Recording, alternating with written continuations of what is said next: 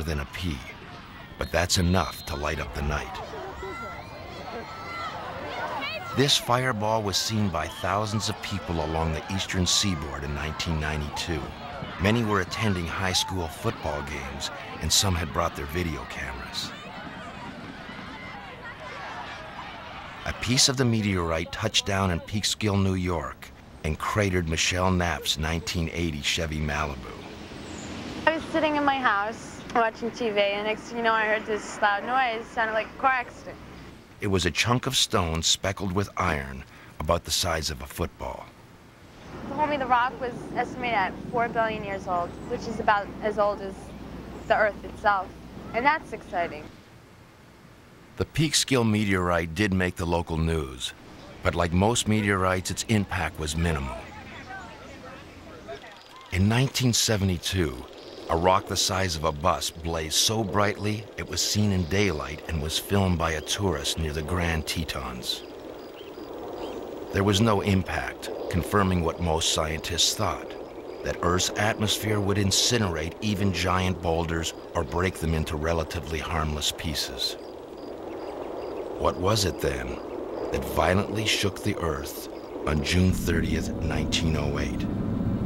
A blinding fireball exploded over a remote part of Siberia. As far away as England, an eerie glow lit up the sky. Two decades passed before scientists could mount an expedition to find the site where the blast occurred. It was an arduous trip to an uncertain destination, but the scientists knew they had arrived when they saw the staggering devastation on the banks of the Tunguska River.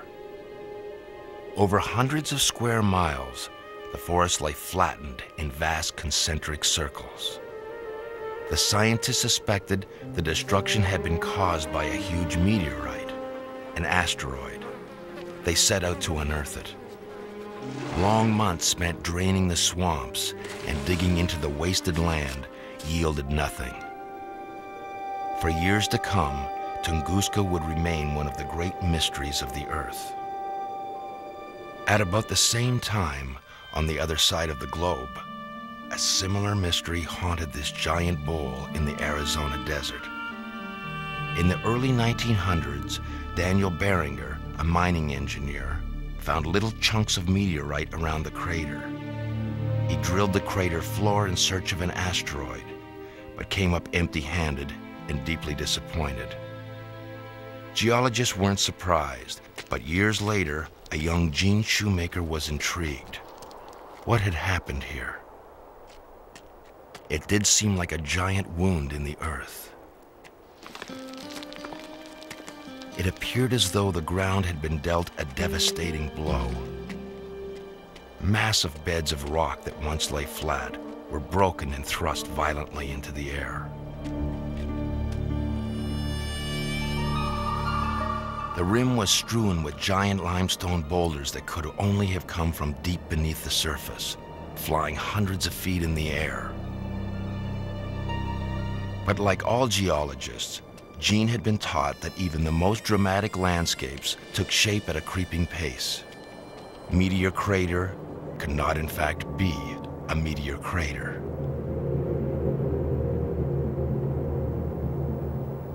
People say, ah, yes, meteorites fall out of the sky. We accept that. A chunk that big, I accept that that falls out of the sky. But it was a, it was an intellectual leap to go from a fist-sized stone to a mountain and have a mountain come down out of the sky.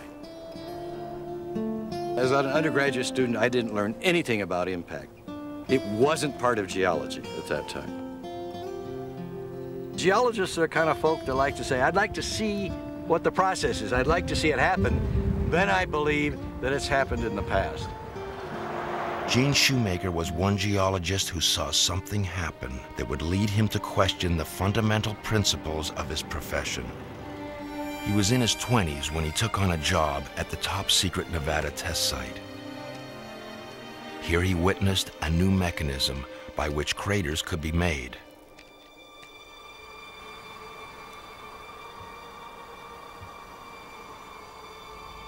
It all takes place in utter silence until finally the shockwave.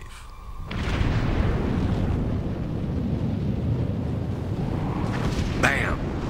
And then it's followed with, with roiling thunder.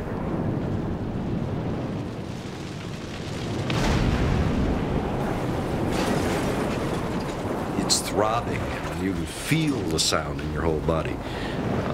And it's that's a very dramatic thing to watch, too.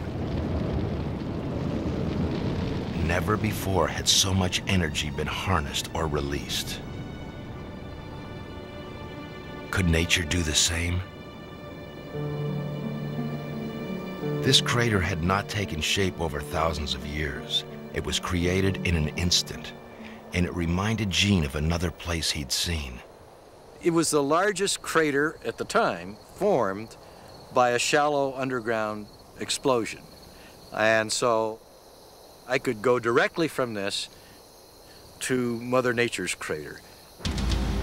My hunch was that I would go have a look at Meteor Crater and see what the structure was because it had never been thoroughly mapped and described. And so I didn't know what the structure was until I went. But having mapped this first, I went to Meteor Crater and voila,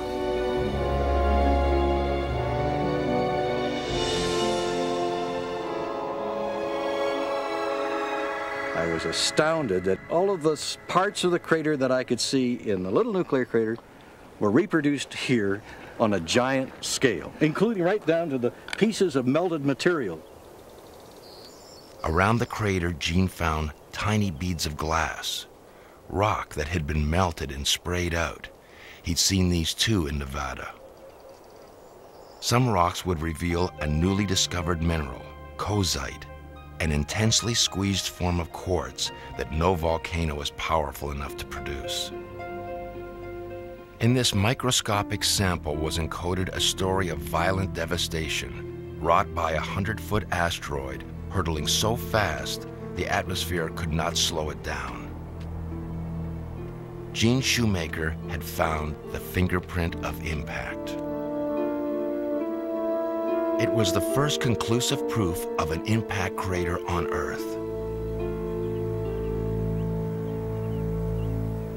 An affront to centuries of scientific conviction, and a challenge even to the professor's devoted students. Dr. Susan Kieffer once studied with Gene in graduate school. One day, Gene said, I'm going to show you what an impact is. So he grabbed a, a fairly large rifle, and we. This is my favorite This is it? I don't want to see this rifle again after what happened that day. recognize this suit? And then Gene told me to shoot the, the rock, which I did. what happened is it just The rifle came back and hit me in the nose and broke my glasses. And he looked at me and said, Haven't you ever fired a gun before? And I said, No. All right. Here's Annie Oakley with her nemesis. The ideas that Gene was proposing not only made individual people uncomfortable, but at a gut level, whole schools of academic thinking. That was the battle that had to be fought against. And he, I feel, really did that almost single handedly.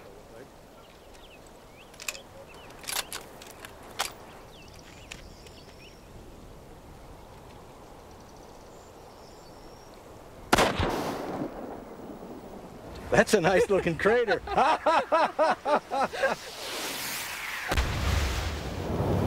Sue's lesson was simple but revolutionary. A relatively small object